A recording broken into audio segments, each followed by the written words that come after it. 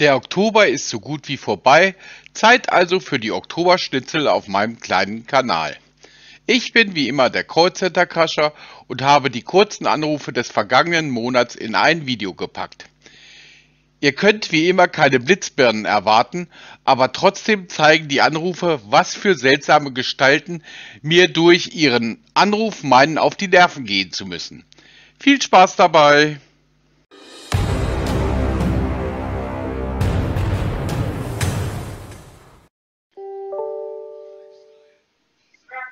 Hallo? Moi, Jan Tabic.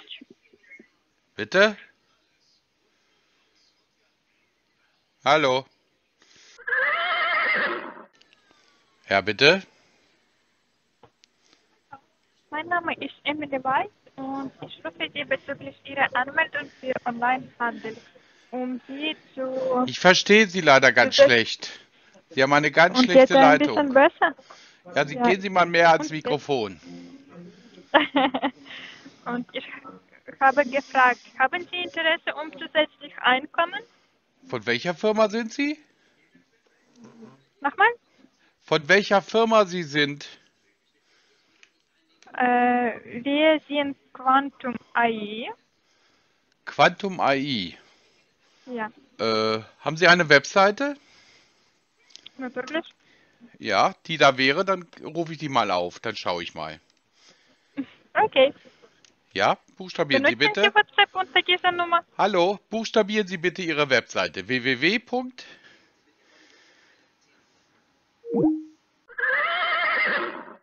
Hallo? Hallo, guten Tag. Spreche ich mit Herrn Lossmann? Ja, das ist richtig.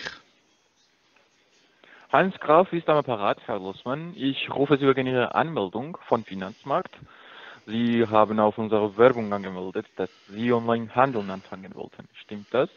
Das weiß ich nicht. Ich weiß ja nicht, welche Firma Sie sind. Hm, Also Sie haben selbst die Anmeldung gemacht. Könnten Sie sich nicht erinnern? Ich weiß ja noch nicht, welche Firma Sie sind. Sie haben das ja nicht gesagt.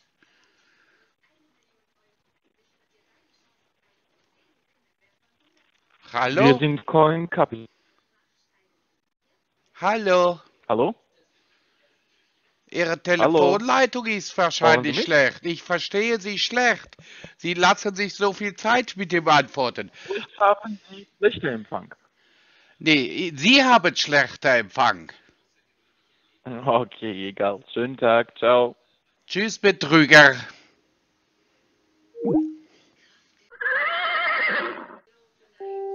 Hallo? Hallo, guten Tag, spreche ich gerade mit Herrn Düsterdick. Ja, das ist richtig. Wer ist da bitte? Grüße Sie. Mein Name ist Olivia und ich bin eine Finanzexpertin von Onlinehandel. Ich habe Ihnen heute angerufen wegen einer Anmeldung, dass Sie über on Oh, und schon wieder raus. Ja, bitte? Ja, hallo, guten Tag. Ich spreche mit Herrn direkt. Bitte? Sie sprechen sehr leise, ich verstehe Sie nicht. Sind Sie Herr Döst direkt? Sie sp- können Sie bitte lauter sprechen? Ich verstehe Sie leider nicht.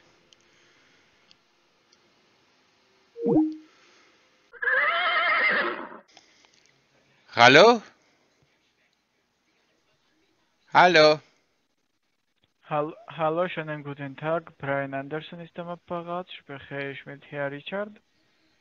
Richard ist ja nun ein Vorname. Wen wollen Sie bitte sprechen? Ich möchte Herr Richard Siebenschneicher. Ja, Siebeneicher ist mein Name, ja? Ja, grüße Sie. Ja, Siebenschneicher. Äh, ich bin Brian Anderson von der Überwachungsbehörde CFTA. Ich muss Von Ihnen welcher Überwachungsbehörde? CFTA. Das habe ich leider nicht verstanden. CFTA? Ja, Terry Cäsar, F. Friedrich, Terry Theodor, Avi Anton. Sie duscheln sehr. Können Sie bitte klarer und deutlicher sprechen? Ja, Gut, dann versuchen Sie es nochmal. Wie heißt Ihre Überwachungsbehörde? CFTA. CFTA. CFTA. Aha, und was ist das für eine Behörde? Haben Sie ge- verstanden? Ja, was ist denn das? Ich fragte gerade, was ist das für eine Überwachungsbehörde? Äh, Herr Richard, ich muss Ihnen Herr Siebeneicher, bitte. mitteilen. Herr Siebeneicher. Okay, Herr Siebeneicher. Äh, ich muss Ihnen wichtige Informationen mitteilen, die ich von der Europäischen Union erhalten habe. So, dann erklären Sie mir doch erstmal, was ist das für eine Überwachungsbehörde? Was ist denn CFTA? Was ist das? CFTA ist äh, Organisation. Ja, für was denn? Was für eine Organisation ist denn CFTA? Lassen Sie mich ausreden, bitte. Und Ja, Sie, Sie sollen doch erstmal Okay. erzählen, was das ist. Ich weiß ja gar nicht, wer, wer Sie sind überhaupt. Unsere Organisation führt eine Liste von nicht regulierten Handelsunternehmen. Sie, äh, können Sie bitte deutlicher sprechen? Sie nuscheln sehr. Können Sie bitte beim, beim Reden die Mund richtig öffnen? Ich verstehe Sie kaum. Unsere Organisation führt eine Liste von nicht regulierten Handelsunternehmen. Wir wenden uns an potenzielle Opfer wie Sie. Was Details ist für aber eine Opfer wie Sie? Können Sie bitte deutlicher sprechen? Ich verstehe Sie kaum.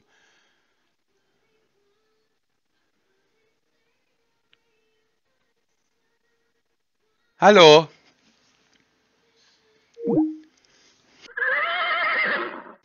Ja, bitte, guten Morgen. Hallo, Ha Hallo.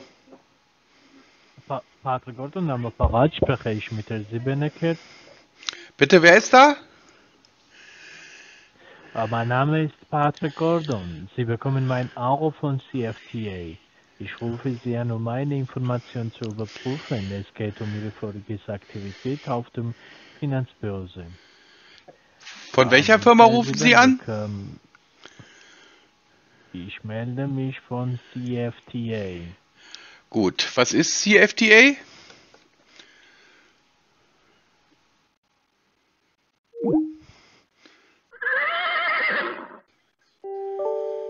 Ja, hallo? Hallo? Hallo, schönen guten Tag. Brian Anderson ist am Apparat. Spreche ich mit Herr Karl? Herr Karl? Das ist, Karl ist doch ein Vorname.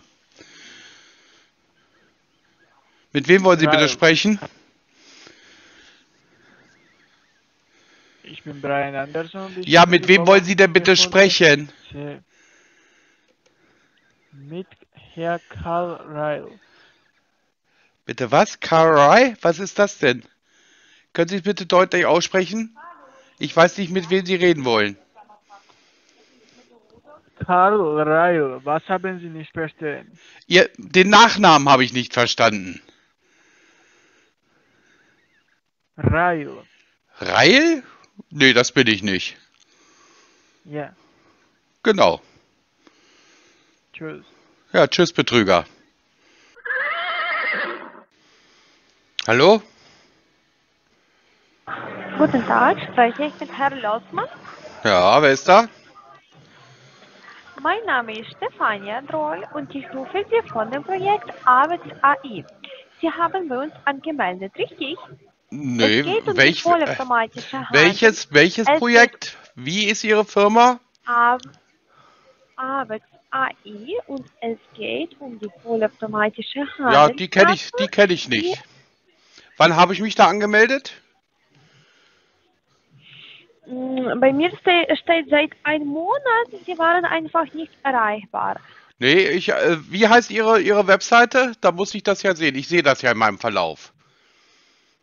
Wie heißt Ihre Webseite? Äh, also das Projekt heißt Nein, ich habe gefragt. Sie müssen schon genau zuhören. Wie heißt Ihre Webseite? Sie haben bei dem Projekt angemeldet. Nochmal die Frage. Wie heißt Ihre genaue Webseite?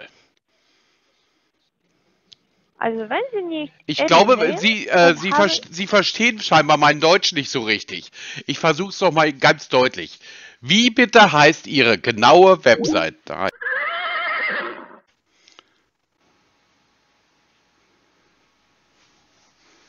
Hallo? Hallo? Schönen guten Tag, Nico Novak spricht am Telefon. Wie geht's Ihnen heute? Wer ist da? Herr Nowak? Ja, super gut. Ja, richtig. Oh, Woher okay. wissen Sie?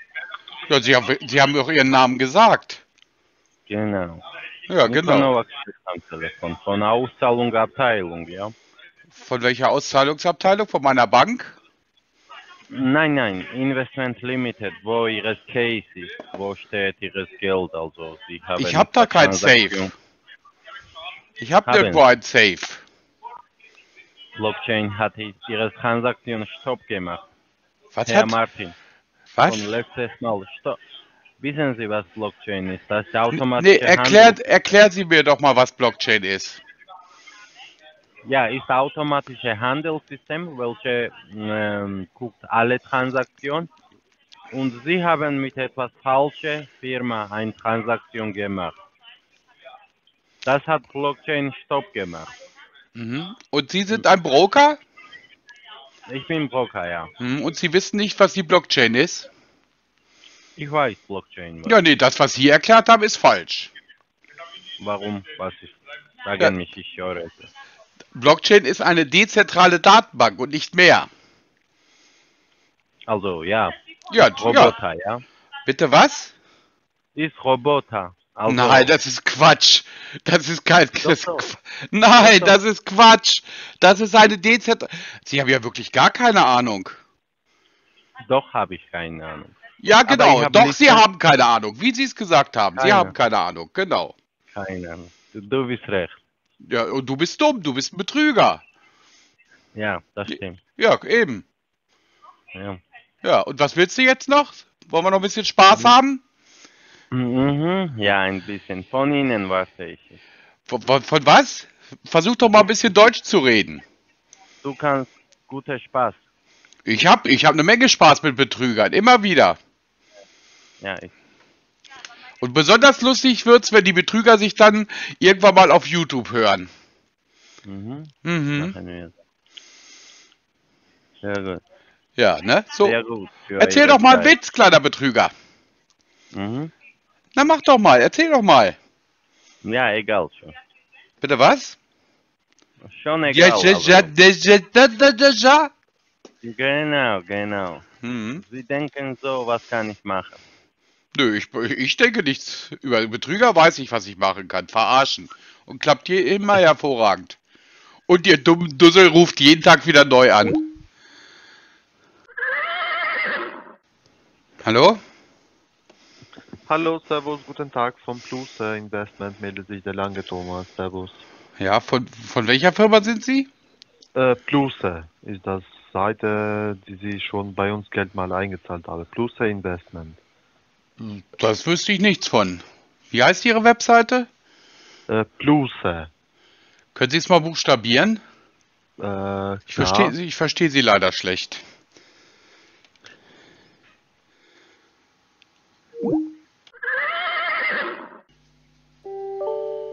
Hallo? Yes, hello. Hallo? Hey, Luther. Hey, Luther. How are you? Wer ist denn da? Uh, Alex, how are you doing today? Äh, ich spreche kein. Äh, welche Sprache sprechen Sie? Und weg ist er. Hallo? Hello. Hey, Luther. How are you, sir? This is Mark Brunelli from the finance department. Is this a good time to speak? What will you? Um, my name is Mark Brunelli. I'm calling from the finance department, MetaTrader. I'm calling in regards to one of your trading accounts. We see there is a problem with your broker. I'm talking about the investment you made on April. Also ich spreche hier Deutsch. Ich weiß ja nicht, welche Sprache Sie sprechen, aber ich spreche Deutsch. Uh, no. Um, a German speaker will give you a call tomorrow. Okay, Luther? Nö. Okay, danke. Tschüss.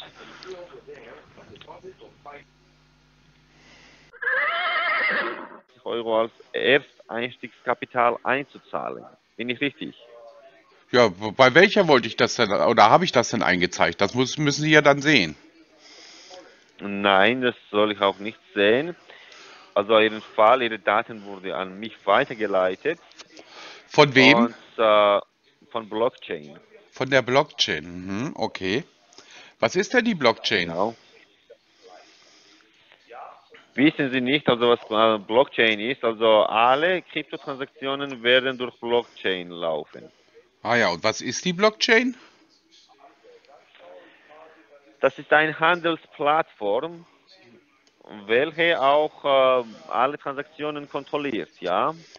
Ja, okay. Und wie wollen, weswegen rufen Sie mich jetzt genau an? Also, Ihre Transaktion wurde an jemanden weitergeleitet, quasi. Jemand hat versucht, unter Ihrem Namen die Auszahlungen zu tätigen, was durch Blockchain direkt systemtechnisch blockiert wurde. Mhm. Okay. Und nun? Wie geht's weiter?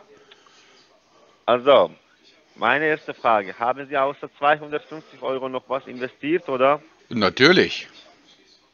Äh, können Sie mir bitte sagen, wie viel Sie insgesamt investiert haben? Wow, insgesamt so 68.000.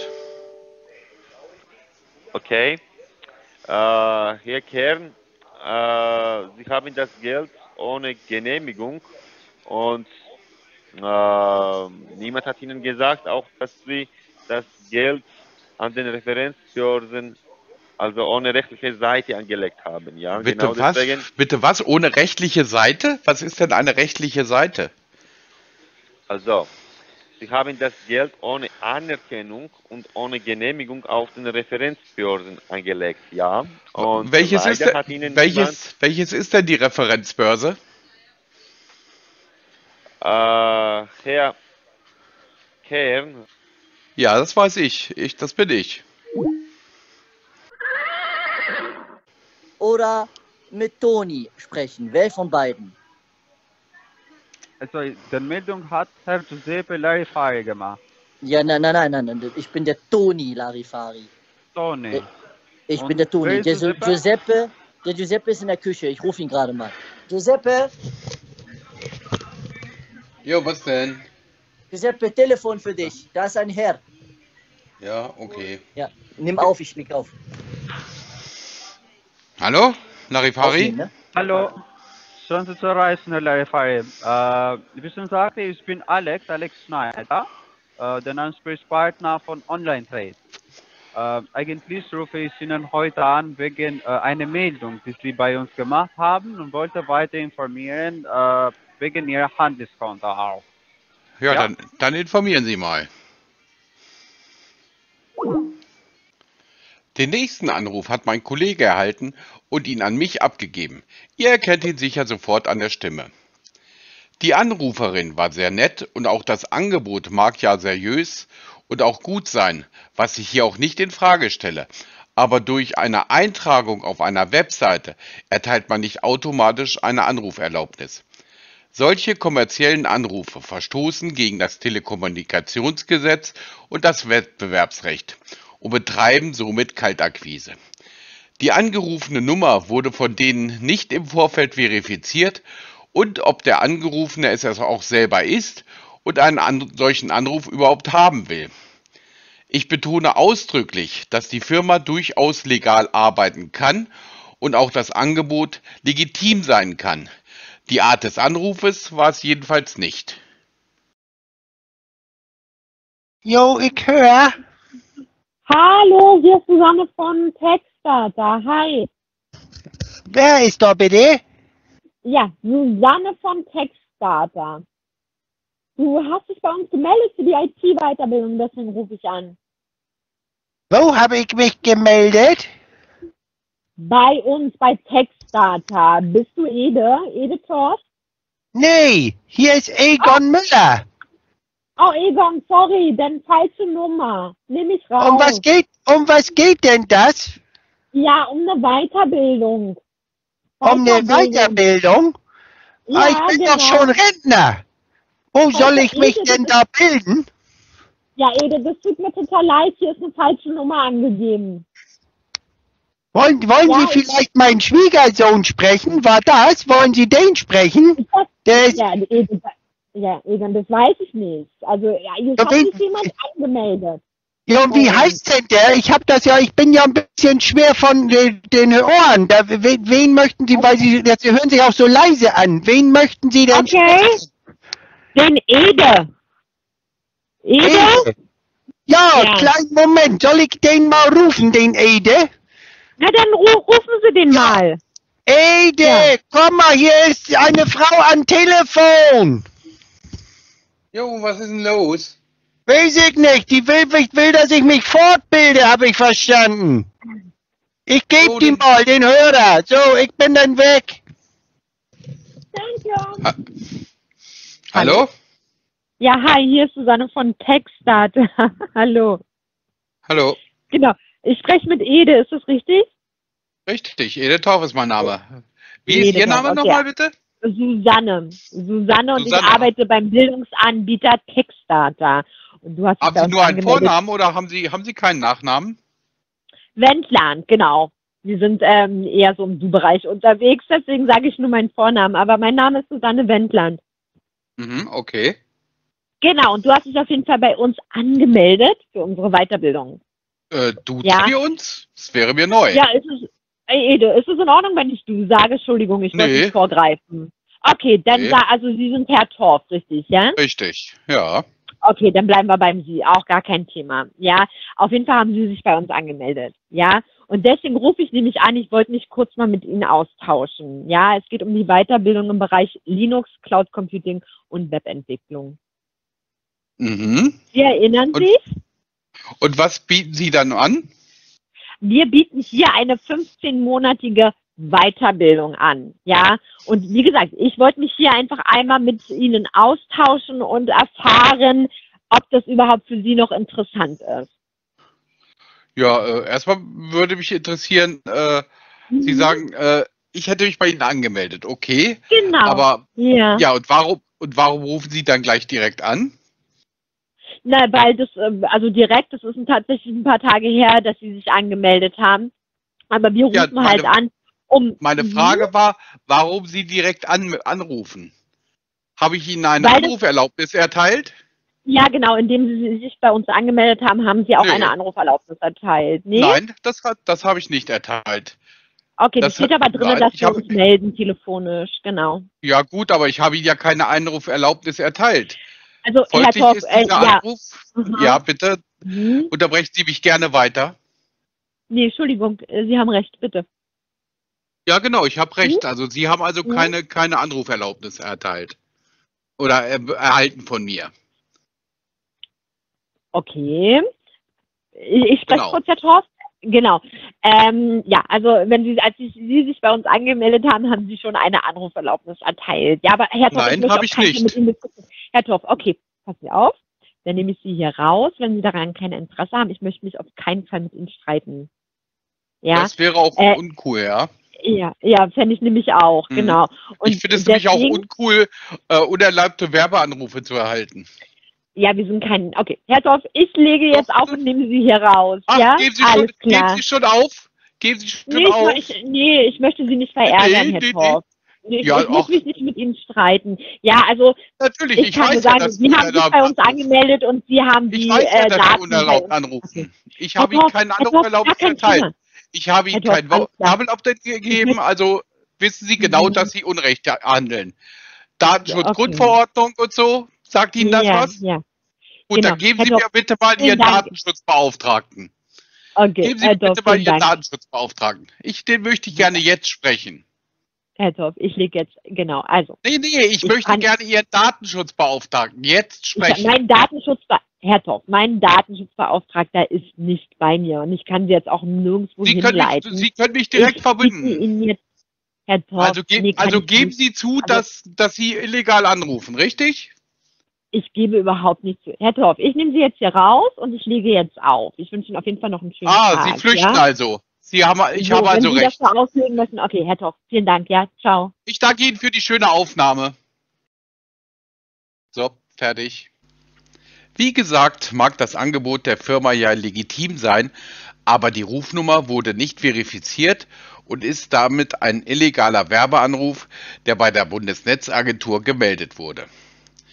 Der nächste und letzte Anruf war wieder ein ganz billiger Versuch eines Betrügers an irgendwelche Daten zu kommen, was daran scheiterte, dass die einfach so schlecht vorbereitet sind.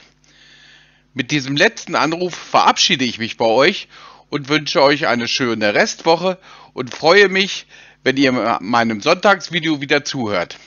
Bis Sonntag. Tschüss, euer Callcenter Kascha. Hallo?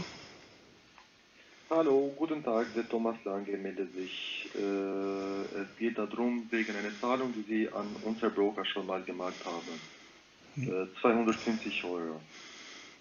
Ja. Und das ist der äh, 1. April gewesen. Äh, wir rufen aus Berlin und hier haben wir die Finanzabteilung des Unternehmens. Äh, sind Sie schon mal von jemand angerufen worden? Oder haben Sie... Ja, ich, ich habe schon länger ein Telefon, tatsächlich. Mhm. Und was würde Ihnen mitgeteilt oder wie die Lage aus? Wie, welche Lage? Soll ich Ihnen alle meine Telefonate äh, vorlesen oder was? Weswegen rufen Sie jetzt genau an? Nee, nee, nee, nee. Ich meine, äh, die Kontos, die Sie schon gezahlt haben. Welche Konto? Wo? Äh, an unser Broker haben Sie am, im März 250 Euro. Wer ist denn Ihr Broker? Äh, Der Broker ist der Trading MetaTrader 4. Nö, MetaTrader ist, 4 ist ja kein Broker. Das ist ja eine Trading-Software. Ja, das ist die Software. Die Ja, ich habe ja nicht nach der Software gefragt, ich habe nach dem Broker gefragt. Mit Binance arbeiten wir. Sie arbeiten mit Binance, das ist ja nur auch kein Broker. Mit wem habe ich bitte genau gehandelt, Ihrer Meinung nach? Äh, Binance ist der Broker. Binance ist der Broker. Nee, mit Binance habe ich noch nie gehandelt. Mit Binance haben Sie nie zu tun gehabt. Hm. oder? Äh, von wo rufen Sie an? Von der Zentralstelle. Ja, von welcher Zentralstelle? Aus welchem, äh, aus welchem Ort? Neukölln. Neukölln mit einer 322 Vorwahl. Das stimmt nicht. Das ist nicht Berlin. Und was ist das? Das ist nicht Berlin, sagte ich gerade. Berlin hat 030. Das ist doch Berlin. Bitte was? o